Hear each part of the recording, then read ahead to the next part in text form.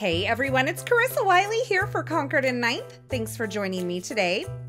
Let's have an up close and personal look at the new Best Friend Vibes stamps and dies from Concord and Ninth. If you are someone who grew up in the era of friendship bracelets, then you know they are totally back. They're even selling them on high end websites right now. And this Concord and Ninth stamp and die set totally captures my youth vibes of those woven friendship bracelets or the ones with the personalized beads. So, this bundle includes a stamp set that has all of your alphabet letters as well as a couple of sentiments there on the bottom.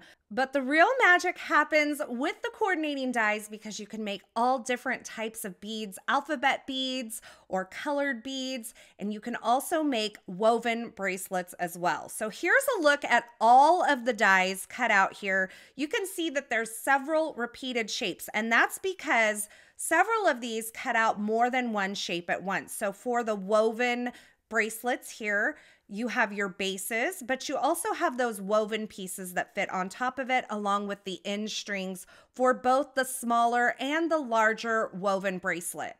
You'll also have some shaped and colored beads that you can create in various colors. And then the alphabet beads, which I have die cut out of some white cardstock. So they're kind of hard to see here, but we're to have an up close look at those in just a moment. And then you have a few different strings for your beaded bracelets as well. So you can mix and match these and create your own custom friendship bracelets. So let's look at this in action. I have my stamp here that has all of the alphabet letters mounted in my MISTI stamping tool, and I'm inking it up with some juniper ink and I'm stamping it onto some white cardstock because I want to show you how these bead shaped dies work with the alphabet stamp. So once I have that stamped there, I can remove it from my MISTI. And you can see I have several letters that are repeated here. So you don't have to stamp this necessarily a bunch of times to make your word. Now, these alphabets are compatible then with both the square shaped bead dies, which just lays right over the top, and the circle shape bead dies. So you can make your own custom alphabet beaded friendship bracelet. You can make it say anything that you want, and I love that. So let me show you how to put one of these beaded bracelets together. I'm starting with kind of the arched string here for my bracelet, and I have a piece of pebble cardstock underneath it just so that you can see all of my pieces really clearly. I like to anchor the ends of my little string down to my work surface. That just helps it um, kind of stay in place while I'm gluing my beads in place. And you can see I've stamped and die cut several colors of the shaped alphabet beads here. I've used the circle die and I have a bunch of different colors here. I have watermelon, stardust, juniper, grapefruit, sea glass. I believe that's it. And then I have some gold metallic cardstock or the matte gold cardstock from Concord and Ninth die cut from the smaller beads. Now, once I have all of my letters picked out, I am going to add some liquid glue to my string. And I like to start in the middle. This helps me kind of get everything shifted into the right spot. If I start with the center letter and put it in the center of my string, then I can work my way out from there. And it helps me, like I said, just keep everything nice and centered up. So I am placing each of these alphabet beads onto the liquid glue that I have on the string, and I'm placing a little gold bead in between each of the letters just for a little extra something.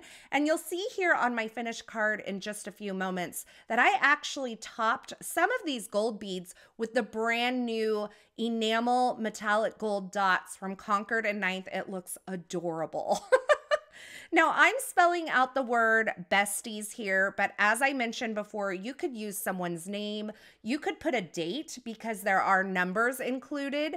I've even seen friendship bracelets where they do like your latitude and longitude so it shows your place on the map. So many different ideas and this comes together so quickly because you're die cutting and stamping all those letters in one pass of your die cut machine then you can just glue them onto your string and you'll see here, I'm just releasing that from that background paper there and I have my completed bracelet here that says besties.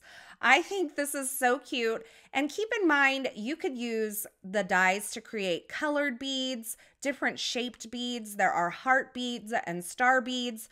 So the sky is really the limit and I think you're going to have a great time creating with this. Now let's look at the woven bracelet. I'm going to do kind of the chevron style woven bracelet here. I have the base piece for this and I've die cut the little triangle shaped woven pieces from five colors of cardstock.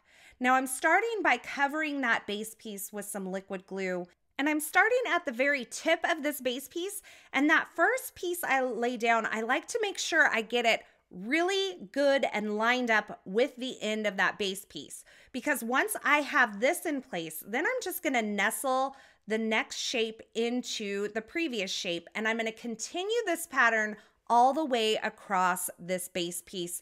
And I can do any pattern that I want here. I'm just using the five colors and repeating those across it.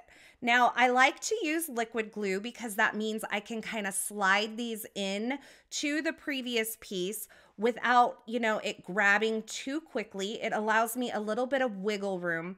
And I like to use either some tweezers or some kind of tool where I can pick up my pieces and place them onto the glue and kind of slide them into place. Now, the smaller woven bracelet is very similar in its assembly. You just want to make sure that you get that first piece lined up with the ends of the base piece, and then you can nestle the pieces into each other and work your way all the way across the base piece, covering it up in any pattern that you like. So you can see I have my woven bracelet here, and now I'm going to take the little end strings and I'm going to take a couple of different colors. I've die cut them from the various colors used in the bracelet. And I can stack a couple of these up to make it look like they're all woven together.